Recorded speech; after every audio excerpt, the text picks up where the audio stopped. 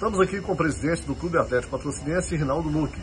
Rinaldo, duelo de líderes do campeonato da Série D do Brasileiro. E o CAP mais do que nunca precisa do apoio da torcida. Verdade, né? Jogo grande, né? Jogo do primeiro colocado contra o segundo. Contamos com a, o apoio da torcida, né? Mais do que nunca. Domingo passado tivemos um ótimo número de torcedores. Agradeço a quem estiveram lá. E peço mais uma vez para que eles fazem presente domingo, preço único de novo, Pedro Álvares do Nascimento, 11 horas da manhã. Contamos com a presença de todos, porque é um jogo muito importante para nós, para nossa classificação e selar de vez a primeira colocação do grupo. Valor dos convites e onde encontrar? É 20 reais, né? Preço único.